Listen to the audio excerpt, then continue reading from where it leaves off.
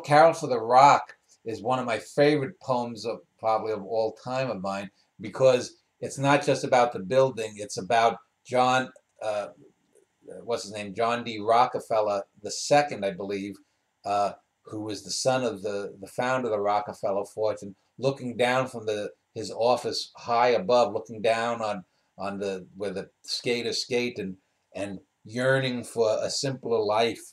And it, it, it's a portrait of the man through his building, or the building that bore his name.